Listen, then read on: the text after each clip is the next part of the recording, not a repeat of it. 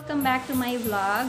Um, so, for today's vlog po, ang gagawin ko ay i-share ko sa inyo yung product na aking ginagamit. How do I achieve this white and makinis na balat skin? Not just sa face, but also sa body. Yan. So, here we go!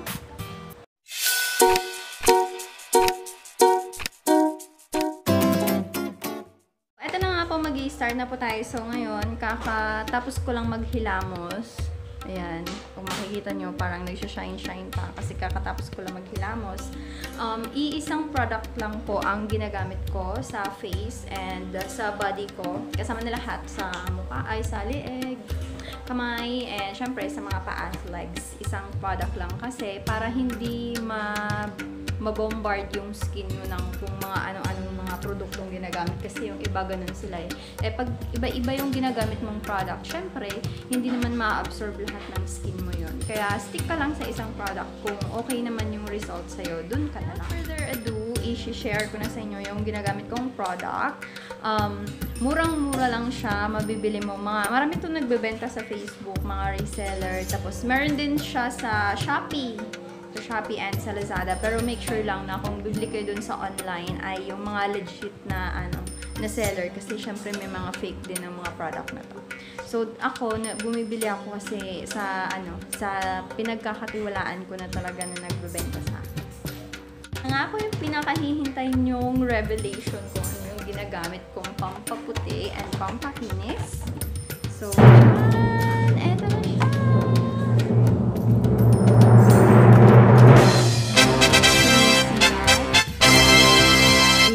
A Brilliant Skin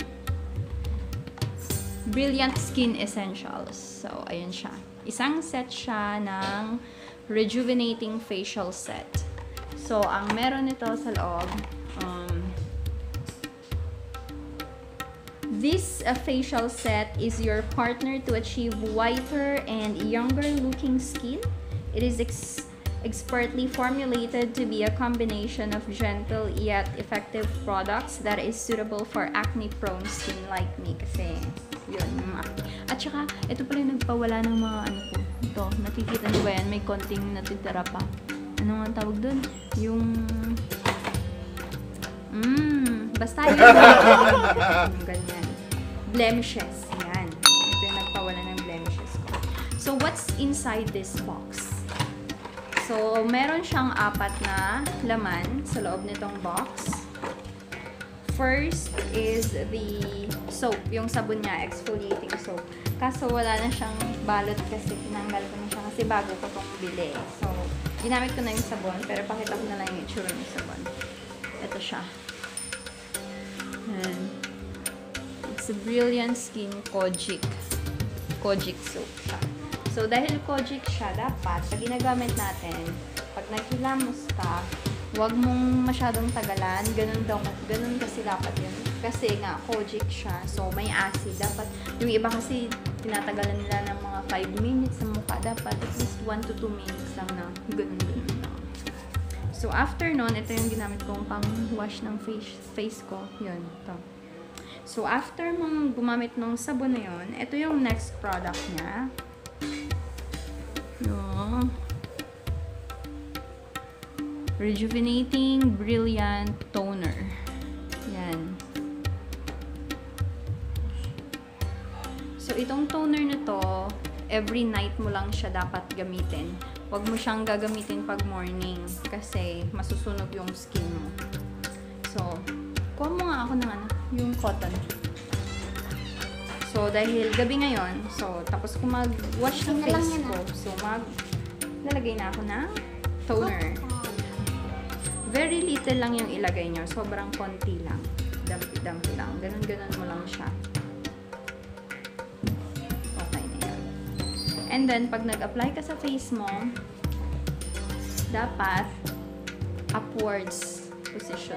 Yun yung na, napanood ko sa mga expert na beauty vlogger. So, ako lagi ako nag-start dito. Pero, tapos, isang apply lang. Ayan.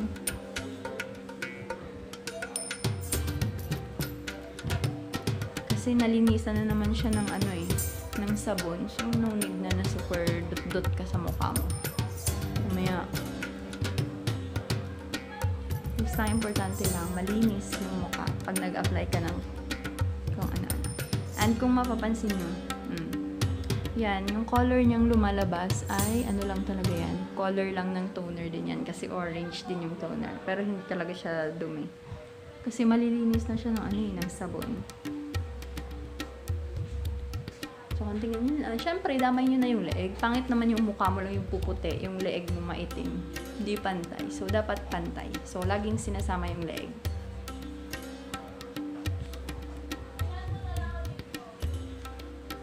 Lagay lang ako ng headband kasi yung bangs kong irritating ay nag-ano. So, after nung toner, ba? Soap, then toner.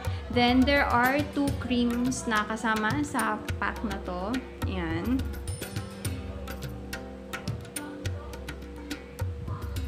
Malabo talaga yung camera ko. Ito yung isa. So, ang isa ay ito. Yung Rejuvenating Facial Cream exfoliating cream. So, itong rejuvenating facial cream, exfoliating cream, ito yung ginagamit paggabi. So, after mo mag-apply ng toner, ito dapat yung gagamitin mo. Ito na naman yung isa. Yan, rejuvenating facial gel cream, sunscreen gel cream. Ito naman yung ginagamit pag morning or pag umaga. Pag umaalis ka, kasi ito ay SPF 30. So, sunscreen na rin siya and then at the same time, moisturizer na rin siya. Ito yung pang morning ha, or yung pang day, pang umagang gamit. So, itong gagamitin natin ngayon ay yung rejuvenating facial cream kasi ito yung night cream. So, it's suitable for acne-prone skin, smoothens and lightens your skin. Kita nyo naman. So, ito ngayon yung gagamitin natin or yung i-apply natin. And pag open mo, meron siyang little spatula. Ito yung gagamitin mong pandakot para hindi ma mapanis char. And dahil meron dito sa takip, yan. So, ito na yung gagamitin ko. Maggagamit ka lang nitong maliit na spatula na to pag kukunin mo or dadakot ka dito sa ano. Para, ayun nga, para hindi ko mag ano. So, ito na ngayon, i- Ewan ko ba, pag nag-apply ako ng something sa mukha, laging nauuna to, yung chin ko. Gusto ko lang siyang inuuna. And then, yung position pa din ay upwards pa din. Kasi, iwas daw yun pag o-open ng pores. Kasi pag na-open yung pores nyo, doon na mapaprone yung mga pimples. Kasi, syempre, madaling mapasukan ng mga bacteria.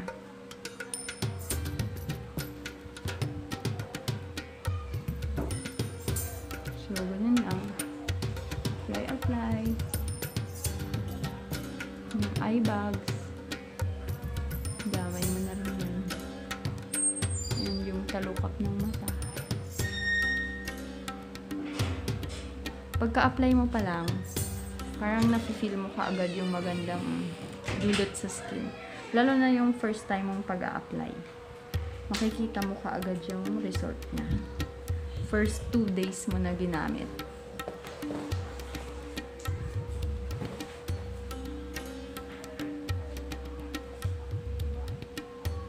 And syempre yung noon. Circular motion.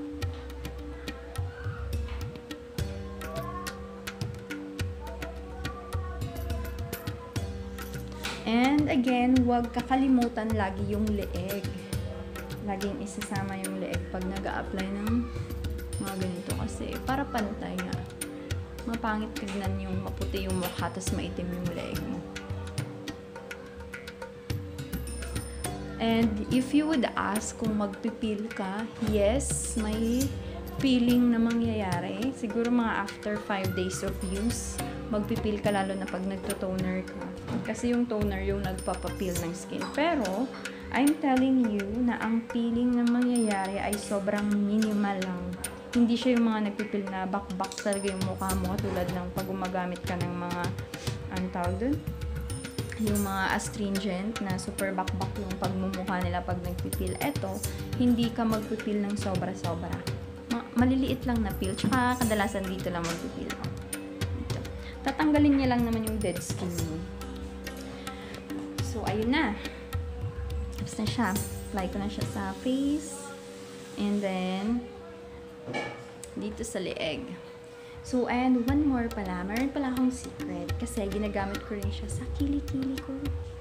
Magpipil din yung kilikili nyo. Kung, ma, kung maitim yung kilikili mo, mamumuti din yung kilikili mo. Gamitin mo lang sa kilikili ay yung toner.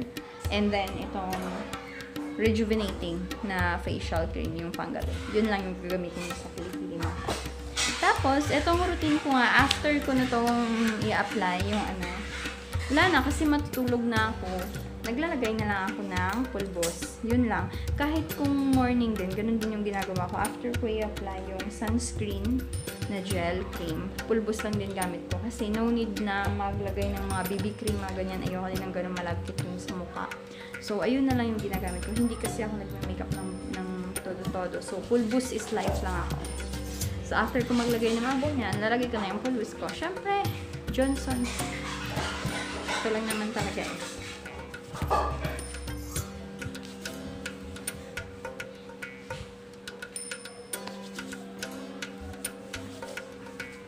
Yan. Pag naglagay ka na ng pulbo sa mukha mo, oh, di ba para ka nang may foundation or something. Yun na yung base. Pag kunyari pag nagme-makeup ka din, parang yan na siya yung base mo na itong cream na in-apply mo. Bongga, di ba? Tipid. And, nasabi ko na ba yung price nun pala? Hindi pa, di ba? 250 pesos lang. Isang buong, ano yun, set. So, sobrang mura. Lahat na ng mga, ng mga kailangan mo ay nandoon na. From panghilamos, moisturizer cream, and toner in one pack for only 250 pesos. Merong mga reseller nyo siguro na medyo mas mahal yung benta pero yung binigilan ko, yun lang yung price niya. At saka sa Shopee din, 250 pesos din siya sa Shopee. Lang po. And meron ba akong shoutout na nakalimutan ko? Sa next vlog na lang yung shoutout ko. And that's it. That's my secret for my white and smooth, shiny skin. And not just sa mukha. And again, as I mentioned, pati sa yan, mm, makikita niyo naman sa skin ko. So, guys, yan. Yan lahat ginagamit ko sa aking buo ng katawan. So, thank you so much again for watching my vlog for today. And please do like, share, comment, and of course, do not forget to click the subscribe button for more videos from me. And then, don't forget to click the notification bell para updated kayo sa mga bagong videos na aking gagawin. Thank you so much again for watching, guys. See you on my next vlog. Bye-bye!